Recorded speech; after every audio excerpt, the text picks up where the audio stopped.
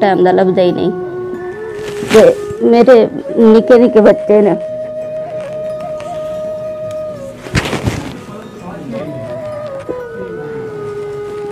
ਬਹੁਤ ਮਾੜੇ ਦਿਨ ਕੱਢੇ ਨੇ, ਬਹੁਤ।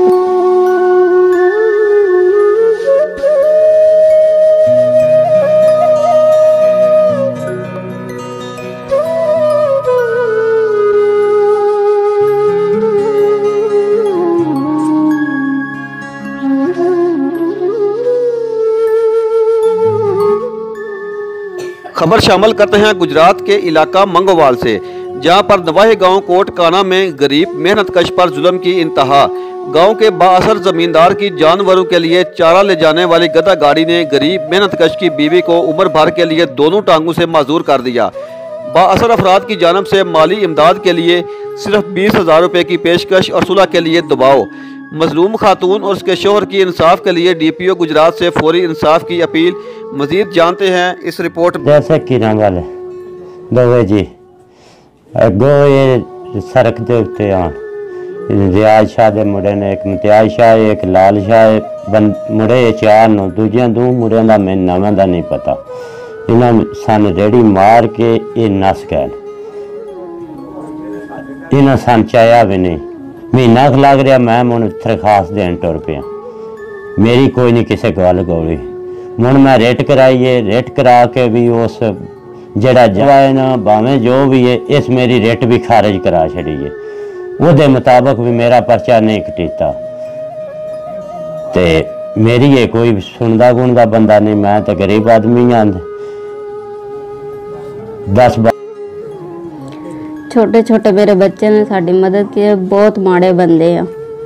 ਤੇ ਮੇਰੇ ਬੱਚੇ ਵੀ ਰੋਲ ਗਏ ਨੇ ਤੇ ਪੂਰੀ ਉਮਰ ਵਾਸਤੇ ਮੈਂ ਮਜ਼ਦੂਰ ਹੋ ਗਈ ਆ ਨਹੀਂ ਮੈਂ ਇਹਨਾਂ ਨੂੰ ਧੋ ਕੇ ਦੇ ਸਕਦੀ, ਨਹੀਂ ਇਹਨਾਂ ਨੂੰ ਕਾ ਕੇ ਦੇ ਸਕਦੀ।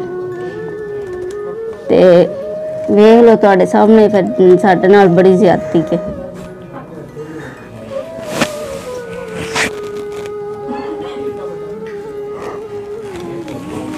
ਸਾਡੇ ਨਾਲ ਇਨਸਾਫ ਕੀਤਾ ਜਾਏ। ਠੀਕ ਹੋ। ਚੌਕੀ ਨਚਾਰੇ ਕੋਈ ਉਰਲੇ ਕਮਰੇ ਚ ਆਇਆ ਉੱਥੇ ਨਾ ਇਹ ਮੇਰੇ ਨਾਲ ਬਹਿਸ ਕੀਤੀ ਹੈ ਜੇ ਤੂੰ ਨਾ ਨਾ ਰਾਜੀਨਾਮਾ ਕਰੇ ਤੇ ਛਾਣੇ ਆਂਦੇ ਨਸਾਂ ਤੇਰੇ ਤੇ ਰੇਟ ਕਰਾਣੀ ਹੈ। ਤੇਰਾ ਲਾਇਸੈਂਸ ਕੋਈ ਨਹੀਂ ਅਸਾਂ ਉਹਦੇ ਦੁਬਾਰਾ ਤੇਰੇ ਤੇ ਰੇਟ ਕਰਾਣੀ ਮੈਂ ਬਣਨਾ ਜੁਰਮਦਾਰ ਬਣਾਉਂਦੇ ਨੇ ਮੈਨੂੰ ਤੇ ਉਹ ਕਿਉਂ ਨਹੀਂ ਬਣ ਸਕਦੇ? ਬੀਬੀ ਮੇਰੀ ਦੀਆਂ ਦੋਵੇਂ ਲੱਤਾਂ ਟੁੱਟ ਗਈਆਂ ਨੇ। ਦੀ ਅਪੀਲ ਵੱਡੇ ਵੱਡਿਆਂ ਸਾਹਿਬਾਂ ਅੱਗੇ ਵੀ ਸਾਡੇ ਨਾਲ ਮਦਦ ਕੀਤੀ ਸਾਡਾ ਇਨਸਾਫ ਕਰੋ। ਮੇਰੀ ਖੁਦਾ ਤਰਸੀ ਹੋਈ ਜਾਏ ਤੇ ਜਿਵੇਂ ਇਹਨਾਂ ਬੱਚਿਆਂ ਲੋ ਵੇਖ ਲੈਣ, ਸਾਰਾ ਕੁਝ ਮੈਂ ਤੇ ਹੀ ਗਰੀਬ ਆਦਮੀ ਆ, ਮੈਂ ਤੇ ਰਾਜੇ ਰੁਪਏ ਵਿੱਚ ਆ ਬੈਠੋ ਆ। ਨਾ ਇਹਨਾਂ ਦੇ ਘਰ ਜੁੱਤੀ ਹੈ, ਨਾ ਕਪੜਾ, ਨਾ ਕੁਛ ਹੈ। ਡੀਪੀਓ ਕੋਲ ਪੇਸ਼ ਹੋਏ ਆ। ਡੀਪੀਓ ਸਾਹਿਬ ਸਨ ਜਲਾਲਪੁਰ ਜਟਾਂ ਗਲਿਆ ਡੀਐਸਪੀ ਕੋਲ।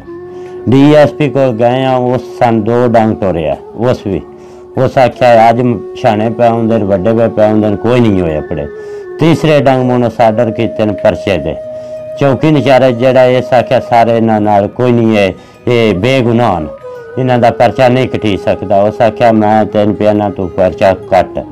ਪਰਚਾ ਕਟਿਉਆ ਇਸ ਇਹਨਾਂ ਰਲ ਮਿਲ ਕੇ ਸਾਰਿਆਂ, ਇਹਨਾਂ ਜ਼ਮਾਨਤਾਂ ਜਾ ਕੇ ਅਸੀਂ 20 ਤਰੀਕ ਪਰਚਾ ਕਟਾਇਆ। ਇਹਨਾਂ ਸ਼ਾਮਾਂ ਨੂੰ 20 ਤਰੀਕ ਨੂੰ ਜ਼ਮਾਨਤਾਂ ਵੀ ਹੋ ਗਈਆਂ ਨੇ। ਇਹ ਭਾਈ ਜੀ, ਜ਼ੁਲਫਕਾਰ ਅਹਿਮਦ ਬੜਾ ਗਰੀਬ ਆਦਮੀ ਹੈ ਤੇ ਇਹਦੇ ਨਾਲ ਬਹੁਤ ਜ਼ਿਆਤੀ ਹੋਈ ਹੈ। ਇਹ ਪਿੰਡ ਸਾਡੇ ਕੋਲ ਕੀਰਾਂ ਵਾਲਾ, ਉਹ ਲੋਕ ਇਹਦੇ ਨਾਲ ਸਮਝ ਲਓ ਇਹਦਾ ਐਕਸੀਡੈਂਟ ਹੋਇਆ ਇਸ ਦੀ ਬੀਵੀ ਦਾ। ਉਹਨਾਂ ਪਰਤ ਕੇ ਇਹਦੀ ਖਬਰ ਤੱਕ ਨਹੀਂ ਲਈ। ਪੂਰੇ 6 ਮਹੀਨੇ ਤੋਂ ਬਾਅਦ ਉਹ ਲੋਕ ਜਿਸ ਵੇ ਇਹ ਪਰਚੀਆਂ ਪਰਚੇ ਪੁਰਚੇ ਸਮਝ ਲਓ ਕਿ ਦਰਖਾਸਤਾਂ ਦੇਣ ਗਿਆ, ਉਸ ਟਾਈਮ ਉਹ ਇੱਥੇ ਆਏ ਨੇ। ਉਸ ਟਾਈਮ ਉਹਨਾਂ ਆ ਕੇ ਨਾ ਆਖਿਆ 10000 ਰੁਪਈਆ ਲੈ ਲੈ ਇਹ ਗਰੀਬ ਆਦਮੀ ਸੀ, ਹੱਡੀ ਚੂਰੋ ਚੂਰੇ ਦੀਆਂ ਦੋਵੇਂ ਲੱਤਾਂ ਦੀਆਂ ਹੋ ਗਈਆਂ ਸਨ।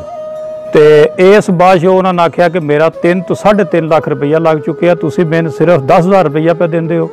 ਹੋਰ ਕੁਝ ਲੋਕਾਂ ਵੀ ਉਹਨਾਂ ਨੇ ਆਖਿਆ ਕਿ ਇਹਨਾਂ ਦੀ ਮਦਦ ਕਰੋ। ਉੱਥੇ ਦੇ ਕੋਈ ਤਾਰੜ ਸਾਹਿਬ ਨੇ ਕੀਰਾਂ ਵਾਲੇ ਦੇ, ਉਹ ਆਖਦੇ ਨੇ ਕਿ ਅਸਾਂ ਇਹ ਦੇਣੇ ਨਹੀਂ, ਲੈਣੇ ਨਹੀਂ ਤੇ ਲੈ ਲੈ, ਨਹੀਂ ਤੇ ਮਿਹਰਬਾਨੀ ਜਾ ਜਾ ਕੇ ਜੋ ਕੁਝ ਕਰਨਾ ਹੀ ਪਰਚਾ ਦੇਣੇ, ਜੋ ਮਰਜ਼ੀ ਹੈ ਜਾ ਕੇ ਕਰ ਲੈ। ਅਸਾਂ ਕੋਈ ਇੱਕ ਤਿੰਨ ਪਾਈ ਪੈਸਾ ਨਹੀਂ ਦੇਣਾ। ਅਸਾਂ ਖੁਦ ਵੀ ਉਸ ਬੰਦੇ ਨੇ ਆਖਿਆ ਕਿ ਇਸ ਬੰਦੇ ਦੀ ਮਦਦ ਕਰ, ਇਹ ਗਰੀਬ ਆਦਮੀ ਹੈ, ਇਹਦਾ ਕੱਖ ਨਹੀਂ ਰਿਹਾ। ਔਰ ਅਸਾਂ ਖੁਦ ਇਹਦੀ ਮਦਦ ਕੀਤੀ ਹੈ। ਜਿਤਨੇ ਜੋਗੇ ਸਾਂ ਇਲਾਜ ਇਹਦਾ ਕਰਾਉਂਦੇ ਰਹੇ ਹਾਂ, ਸਾਰਾ ਕੁਝ ਸਮਝ ਲਓ, ਇਹਦੇ ਨਾਲ ਜਾਂਦੇ ਰਹੇ ਹਾਂ।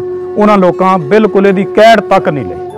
ਐਕਸੀਡੈਂਟ ਜਿਸ ਟਾਈਮ ਹੋਇਆ ਨਾ ਤੇ ਬਾਅਦ ਵਿੱਚ ਫਿਰ ਇਹਦੀਆਂ ਦੋਵੇਂ ਲੱਤਾਂ ਭੱਜ ਗਈਆਂ, ਕੁਛ 6 ਮਹੀਨੇ ਇਹ ਬਿਲਕੁਲ ਮਜ਼ਦੂਰ ਹੋ ਗਏ ਮੰਜੀ ਤੇ। ਮਾੜੇ ਬੰਦੇ ਸਾਨ ਕੋਈ 3 ਲੱਖ ਰੁਪਈਆ ਤਕਰੀਬਨ ਇਹਨਾਂ ਦਾ ਲੱਗ ਗਿਆ। 15 ਦਿਨ ਬਾਅਦ ਜਾਂਦੇ ਸਾਨ ਉਹ ਐਕਸ-ਰੇ ਵੀ ਕਰਦਾ ਸੀ, ਪੱਟੀਆਂ ਵੀ ਚੇਂਜ ਕਰਦਾ ਸੀ। ਉਸ ਤੋਂ ਬਾਅਦ ਫਿਰ ਇਹ ਪਹਿਲਾਂ ਨਹੀਂ ਪੁਲਿਸ ਵਾਲ ਗਿਆ, ਫਿਰ ਇਹਨਾਂ ਪੁਲਿਸ ਨਾਲ ਰਾਬਤਾ ਕੀਤਾ ਕਿ ਇਸ ਤਰ੍ਹਾਂ ਸਾਡਾ ਇਹਨਾਂ ਲੱਤਾਂ ਇਹਨਾਂ ਭੱਜ ਗਈਆਂ ਤੇ ਉਹਨਾਂ ਟੋਟਲ ਇਹਨਾਂ ਦਾ।